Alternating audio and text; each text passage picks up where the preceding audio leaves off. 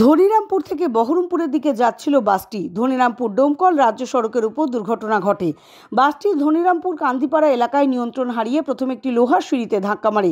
তারপর নিয়ন্ত্রণ হারিয়ে রাস্তার পাশে থাকা খেজুর গাছে ধাক্কা মারে বেসরকারি বাসটি। অল্পের জন্য বড়সড় দুর্ঘটনার হাত থেকে রক্ষা পেয়েছে। বাসের সামনের অংশ দুমড়ে মুচড়ে যায়। বাসে যাত্রী সংখ্যা খুব কম ছিল। একজন শিশু অল্প আহত হয়েছে বলে জানা গেছে। ঘটনার পর এলাকায় ব্যাপক চাঞ্চল্যের সৃষ্টি হয়। পুলিশ পৌঁছে দুর্ঘটনাগ্রস্ত বাসটি উদ্ধারের চেষ্টা করছে। যান্ত্রিক ত্রুটি না চালকের গাফিলতি। তার তদন্ত শুরু করেছে সাগরপাড়া থানার পুলিশ।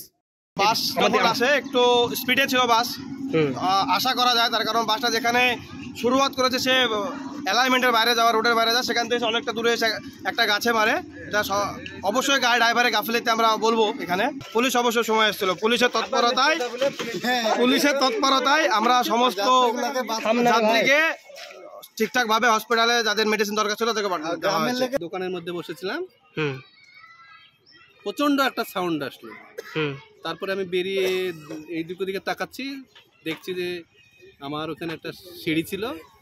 সিঁড়িটা একদম পুকুরে পড়ে আছে আর গাড়িটা একটা খেজুর গাছে আটকা পড়ে গেছে। ড্রাইভারকে আমি জিজ্ঞেস করলাম, তাতে ড্রাইভার বলল সামনে একটা ছাগল ছিল, সেই ছাগলটাকে বাঁচাতে গিয়ে অ্যাক্সিডেন্টটা হয়।